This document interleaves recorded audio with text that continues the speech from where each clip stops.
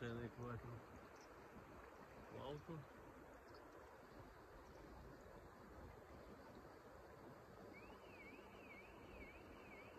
E vai estar lá.